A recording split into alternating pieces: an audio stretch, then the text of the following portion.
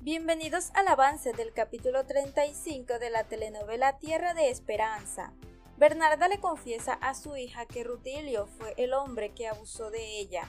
Santos aprovecha la ocasión para presentarle a los empleados de la hacienda y Chris se da cuenta de que esa mujer está enamorada de Santos. Valentina trata de ayudar a Bernarda diciéndole que ahora comprende por qué nunca pudo denunciar a ese tipo ya que él es el presidente municipal y ella le responde que en aquel entonces era un simple policía, pero sabe perfectamente que seguía haciendo ese tipo de trabajos.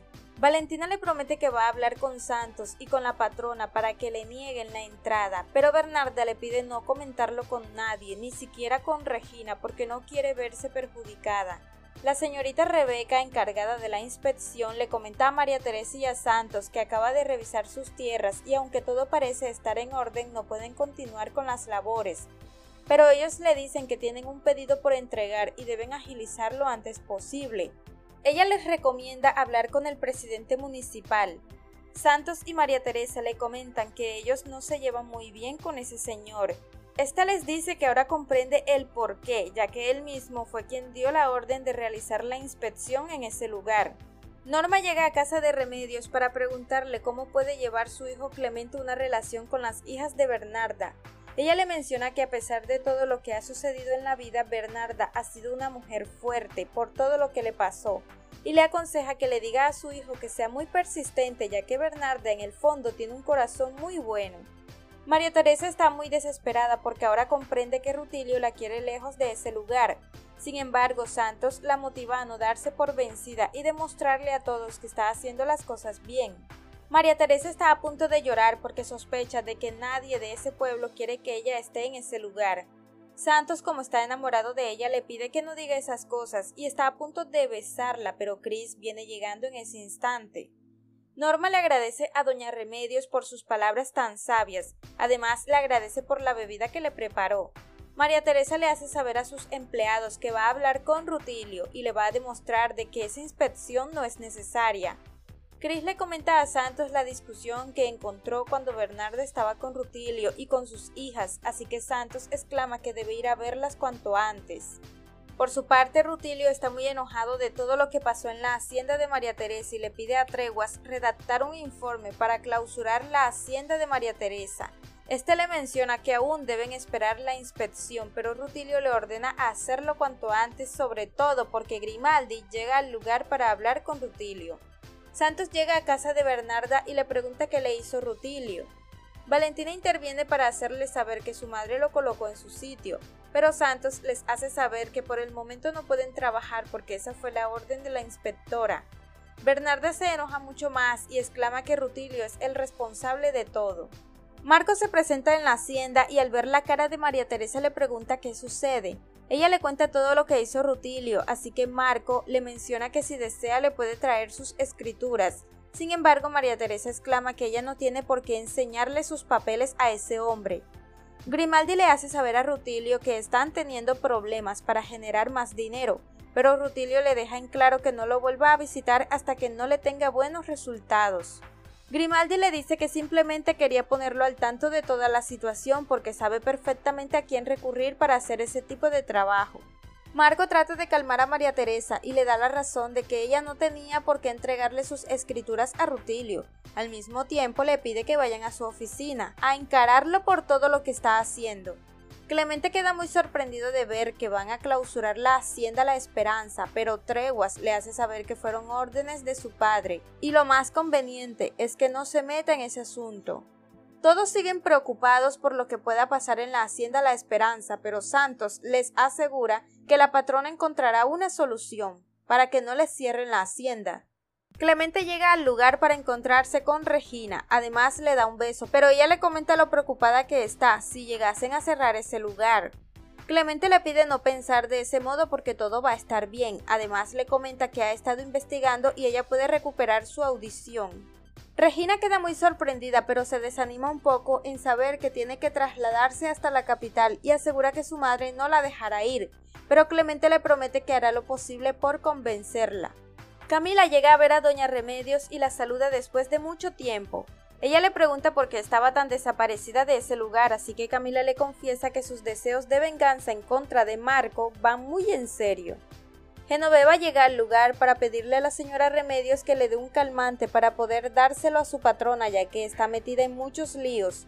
Sin embargo, le comenta a medias todo lo que ha sabido del por qué no se casó. Camila les hace saber que fue porque a su novio se lo llevaron preso el mismo día de la boda y por eso no pudo casarse.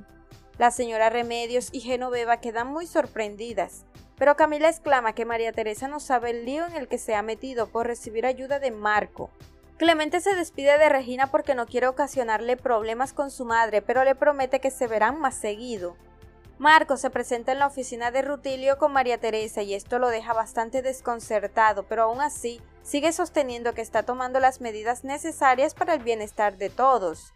Marco le pide llegar a un acuerdo, al mismo tiempo lo invita a cenar a su casa para que hablen y se lleven un poco mejor.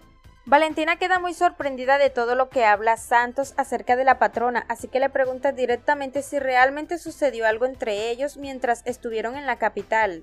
Marco conversa con Rutilio y trata de convencerlo de darle una oportunidad a María Teresa. Ella le garantiza que no hay nada en sus tierras y la inspección era innecesaria. Santos le menciona a Valentina todo lo que ha venido atravesando María Teresa y las razones por el cual él la admira. Grimaldi se presenta en la hacienda de Marco para hablar con Adriana y proponerle que siga trabajando con él transportando mujeres hacia la frontera, sobre todo porque sabe que ella es la única persona que puede hacer ese tipo de trabajo. Adriana se niega a aceptarlo, pero Grimaldi le responde que nunca le va a ir bien si no acepta por las buenas. Luego se marcha, pero Adriana queda bastante preocupada. Bernarda le ordena a Valentina despedirse de su novio. Ella le da un beso y se marcha, pero Santos le pregunta a Bernarda qué fue lo que sucedió con Rutilio. Ella le comenta su punto de vista, así que Santos asegura que Rutilio va a pagar por todo lo que les ha hecho. Este por su parte termina aceptando que María Teresa continúe trabajando en su hacienda con sus trabajadores sin obtener la inspección. Ella se alegra mucho, pero Rutilio le dice que si nota algo raro dentro de la inspección, va a clausurar su hacienda sin remordimiento alguno. María Teresa para demostrarle seguridad le responde que va a hacer todo lo que tenga en sus manos para demostrarle que le está diciendo la verdad. Regina algo preocupada le pregunta a su hermana qué fue lo que pasó con su mamá. Ella le comenta que no paraba de llorar y ella ha tomado la decisión de averiguar sobre el pasado de Rutilio. Valentina le comenta a su hermana lo celosa que se siente cada vez que Santos empieza a hablar de la patrona, pero ella le dice que no tendría por qué hacerlo ya que Santos es su novio y no de la patrona. María Teresa está muy apenada con Marco por todo lo que ha hecho por ella. Rutilio llega a casa y su hijo le pregunta si es cierto que van a clausurar la hacienda La Esperanza. Este sospecha que hay algo más que él no le haya querido contar, pero Norma mete la cuchara diciendo que ella escuchó algo muy raro sobre esa hacienda y decidió preguntarle a su hijo. Rutilio se enoja cada vez más y le pide que en vez de andar chismoseando mejor se ponga a hacer algo productivo. Valentina le comenta a Chris que está muy preocupada por Santos, así que va a ver a Doña Remedios para recibir uno de sus consejos. Muy temprano María Teresa le hace saber a Santos que Marco la ayudó a solucionar el problema de la hacienda con Rutilio. Él se coloca algo triste porque esa misma emoción la tenía cada vez que él solucionaba los problemas de la hacienda. Bernarda llama a Chris para preguntarle sobre Valentina y Santos, pero este le dice que ambos están con la patrona. Santos le insiste a María Teresa en que no debe darle tanta confianza a Marco, pero ella le asegura que si no fuera por él todos estuvieran desempleados. Valentina se presenta en la oficina de Rutilio para exigirle que hablen un momento. Rutilio se acerca a Valentina y le pregunta qué es lo que le ha dicho Bernarda. Ella con mucho coraje le responde que él fue el tipo que abusó de ella y le pregunta directamente si él es su padre. Pero en ese momento también aparece Clemente. Hasta aquí este avance. Si te ha gustado, déjanos un like y una suscripción.